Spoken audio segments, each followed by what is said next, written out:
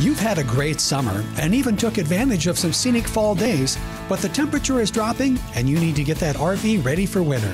The main objective of winterization is to flush all water from your RV to prevent freezing and cracking of pipes and the tanks. Every RV's a little different, so it's difficult to provide exact step by step for flushing your particular system. Your best solution is to talk to your RV dealer. They'll be happy to walk you through the process, or you could just have them do it for you. Ketelsen RV offers full winterization, which includes emptying all water tanks, flushing all hoses, adding RV antifreeze, looking for and repairing all cracks in the sealants, checking your batteries, and giving you the option to add pest and insect screens to your refrigerator, hot water heater, and furnace access panels. Once your RV is parked for winter, tire covers are a good idea to prevent dry rot and protect from sun damage. AC covers can help keep insects out. To control rodents, mothballs and mouse repellent are good to use in the trailer itself. And a good RV cover that breathes can keep moisture out while not overheating your vehicle.